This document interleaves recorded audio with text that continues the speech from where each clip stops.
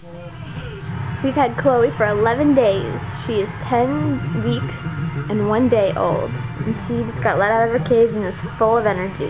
Saturday, 4 Eastern on NBC.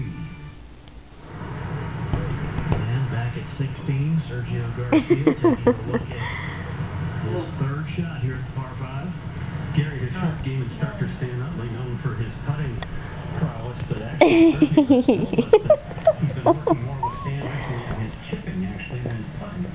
that uh, girl.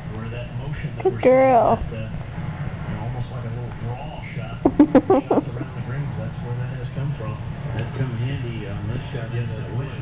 Yes, it would. Would help it run out to the hole. Good girl.